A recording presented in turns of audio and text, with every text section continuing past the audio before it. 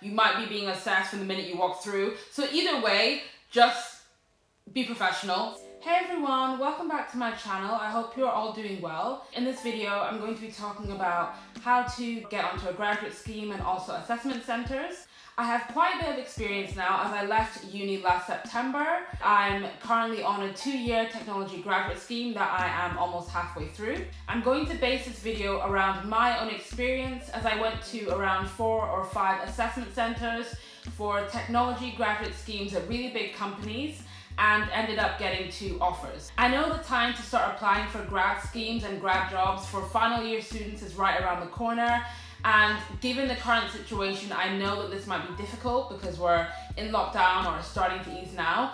Um, but I'm just hoping this will be quite useful when that time comes. So if you're watching this video and you're not familiar with what graduate schemes or graduate programs are, they're similar to placement years in that they last around one to two years. So I think a lot of people have this idea that you can only apply to graduate schemes during your final year of university. But actually, there's no limit to when you can apply for graduate jobs in that even if you finished uni like seven years ago, you can still apply, but it's just that you're more likely to be successful if you apply within three years of you graduating university. So graduate schemes are usually rotational, so they're really useful if you don't know what area of a certain industry you want to go into yet, and they're usually quite competitive to get onto because normally it's really big companies that will actually offer them. So I would suggest if you do know what you would like to specialize in, I would maybe say hold off from a graduate scheme and just apply to entry level um, jobs. But before I jump into the video, don't forget to like, comment and subscribe if you would like to see more content like this. My first tip is to apply early. A lot of companies might say that the deadline is January or February, but the truth is once they get a certain amount of applications and maybe if they started interviewing, they're likely to start recruiting and you really don't want to miss out just because you applied late. I remember applying before I even started my master's. So I was due to start mid to early September and I started applying for graduate schemes and grad jobs beginning of August to mid-August. This just means that you get familiar with applying for grad jobs and doing the tests before you start your final year. University is hard enough as it is, let alone your final year, having exams, having assignments, and then on top of that, having to apply for grad jobs, it's stressful. So if you can get familiar and get used to applying for jobs before you actually start, it's gonna benefit you. If you're specifically looking to apply for tech grad schemes and grad roles, then Target Jobs and GradCracker are really good websites I used for STEM. You can actually filter the industry you want to work in, as well as your grades, the current course you're doing at university, and I think location as well, so it's really good for that. I will link the websites to those down below in the description part of this video. So with tech grad schemes and grad roles, a lot of companies are way more open to accepting graduates with non-STEM degree backgrounds. It's just very specific to the company and you have to do your research. This is a massive tip. If you are not a final year student, I would highly, highly recommend doing an internship or getting some form of experience because you'll end up gaining really valuable experience in your field, which looks really good to employers.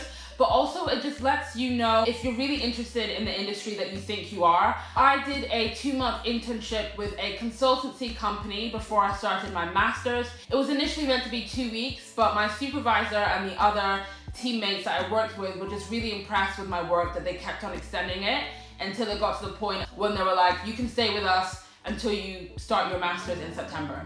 It's important to be as organized as you can when applying. Create a spreadsheet of the different companies you're applying to. So I would have the company name, the type of grad role you're applying for, their degree requirements in terms of the grades and also the subject. And then as you go on and you're applying for jobs, you can fill in whether or not you got an interview, if you got rejection, and it just helps you keep track of what you're applying to.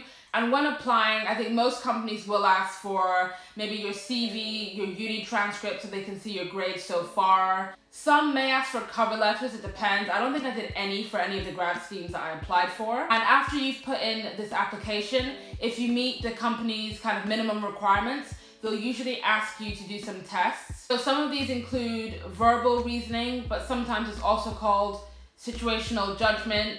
Um, you'll have a numerical test, sometimes coding depending on what you've applied for. And then the last stage is normally video interviews. So for verbal reasoning, this is normally quite straightforward. Just make sure you read the question properly. You're doing the test in an area where you're not really gonna be disturbed by anyone or anything. And just really take your time if it's not timed crazily. For the numerical test, if math isn't your strong suit, there are a lot of resources online, so if you just search for those on Google, you're bound to find something.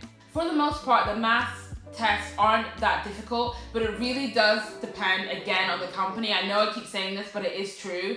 If you're applying for a graduate scheme at maybe IBM or Rolls Royce or something that's really competitive, then the math test will probably be a lot more difficult. Depending on what you apply for, some companies might ask you to do a coding test, and I'm guessing if you apply for like a software development or a software engineering kind of grad role, then you probably will be asked to do one. I remember when I did one, they let you choose a language. So if you prefer to code in Python or JavaScript or whatever it might be, they will have all those options usually. So when you pass the kind of numerical, the verbal, the psychometric tests, and maybe even coding tests, you're likely to get an invite for a video interview. This is normally when you're kind of interviewed by the computer itself. So the company will have a set of predetermined questions that they ask you, or rather it's the actual computer that will ask you. So you'll be looking at your webcam and there'll be questions that pop up on the screen and you have a certain amount of time to prepare and then to also kind of present your answer. And for these video interviews, my advice would first be to research the position that you've applied for. A lot of the times on the company website, they will say certain traits that they would expect the ideal candidate to have. So whatever that is, make sure you know it. Also take a look at the company values the company values might be linked with what they want from their ideal candidate. I would advise you to dress professionally, so just have like on a smart shirt. Try not to have any childish posters in the background or any teddy bears or anything like that. Try to have it just as clean and plain as you can. Something I want to point out is to just be careful when you're applying to these roles, to these grad jobs, because there are companies that are notoriously known for having graduate schemes are a bit scammy and kind of exploit graduates. But just some things to watch out for are that if you are applying and you realize the application process is quite different to other graduate schemes, as in you apply for online, giving your CV, your grades, everything. They give you a call maybe a few days later um, and you do kind of an over the phone interview and almost straight away they invite you for an assessment center. Hold up because chances are that that graduate scheme are very likely to kind of exploit you as a graduate. I would really recommend that you go on student forums before you accept a graduate scheme offer and before you go for assessment centers. A lot of the times, uh, people will say on there, they'll just kind of discuss their experience, maybe even any interview questions they got. They might even discuss their experience after they've left. And I know for this particular company I'm thinking of, there were so many grads online saying how they accepted the offer, started working, realized a few months in that this really isn't what they wanted to do and it was falsely advertised. And when they then tried to kind of leave the company, the company kind of turned back and said, you can't leave so soon. Uh, you guys are gonna have to pay us some money for terminating your contract early. So read your contract as well, that's really important before you accept it and look at these forums. So it's Student Room and also Glassdoor, um, where they also talk about stuff like that and then salaries, etc. Next, I'm going to be moving on to assessment center tips and just my own experience with it. The first thing I would say is to make sure you know and research the company values and what they look for in an ideal candidate. I know I've already said it, but I'm saying it again because it's important. Most of the questions that they're going to ask you in the one-to-one interview which I'll go on to later on, will be linked to what the company values are and what they really look for and what they value in an ideal candidate. And this links on to the next thing I'm gonna say, which is to prep your answers beforehand. And if you do end up going on the student room and Glassdoor, you'll be able to come up with a list of questions that they're likely to ask you. So prep your answers beforehand. It means you're going to be way more confident when it comes to answering these questions. And the next thing is to obviously make sure you look the part. For a lot of assessment centers, the dress code will be smart casual. So that's normally, for me anyway, that was smart trousers, a smart shirt. Um, and I would, I would carry a blazer with me, but I don't think I ever actually wore it.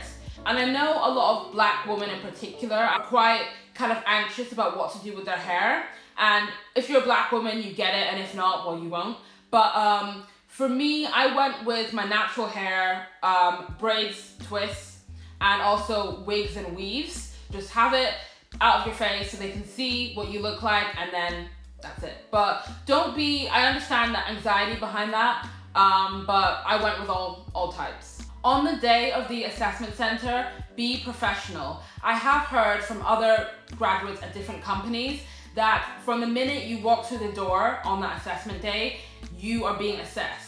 Again, it does depend on the company, but if this is the case, it means that you really need to kind of walk in there uh, with a smile on your face, be friendly, look approachable, and try and speak to the other candidates too.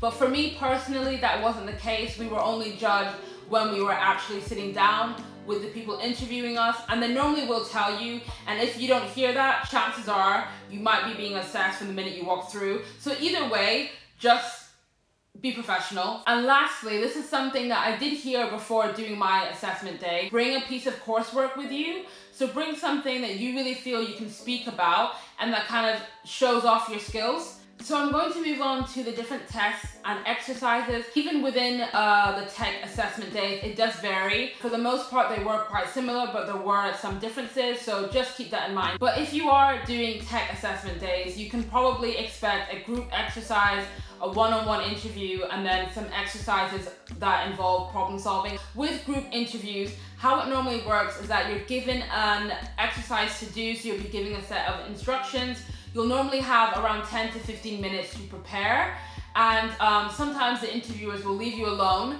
or they will um, kind of stay and watch you prep for it.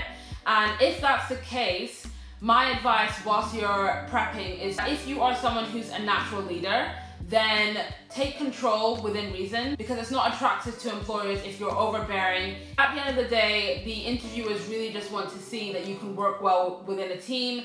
After all, when you do get offered a position, you, you will be working within a team. So if you don't work well within a group, that's kind of a bit of a red flag to them. And if you're someone who is quite good at keeping time or taking notes, then maybe it's a good thing to kind of announce that at the beginning without without actually speaking to the interviewers because you're interacting with the group.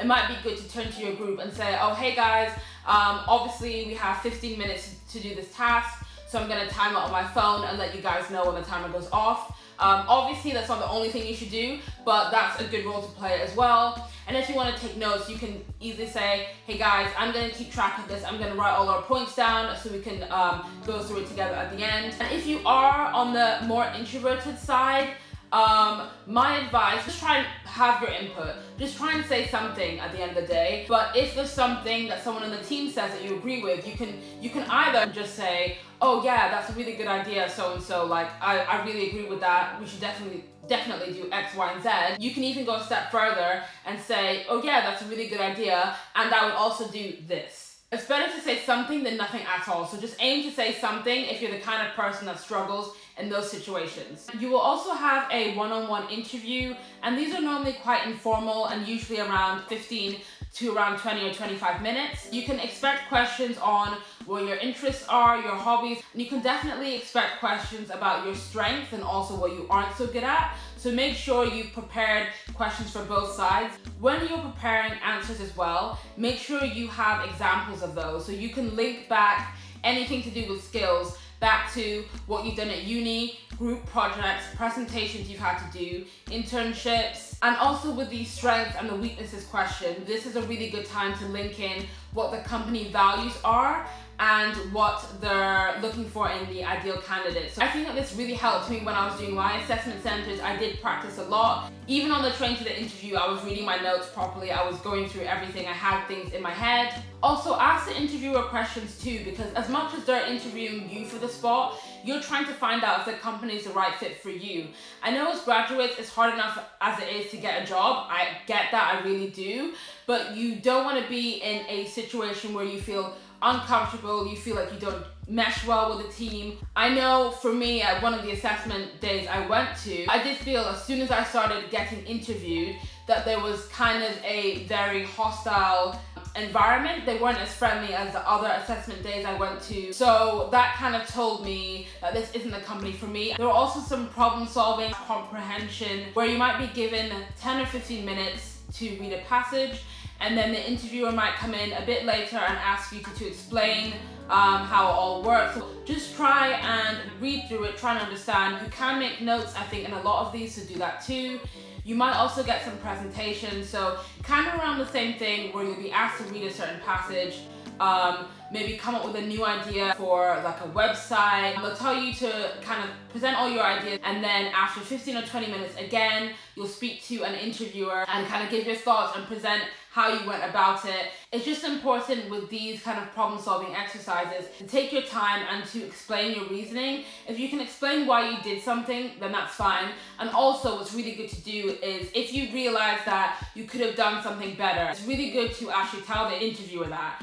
So yeah, that is it guys. Sorry if the video is a bit long. I tried to put as much information as I can without being too overwhelming. If you do have more questions for me, leave it in the comment section down below. You can also DM me on Instagram or Twitter. This is just everything from my perspective and from what I've been through. I hope this was helpful. I hope you did learn something and take something away from it. Thank you so much for watching if you made it this far. Don't forget to like, comment, and subscribe and also hit the notification bell so that anytime I put out more content like this, you'll know straight away. Bye!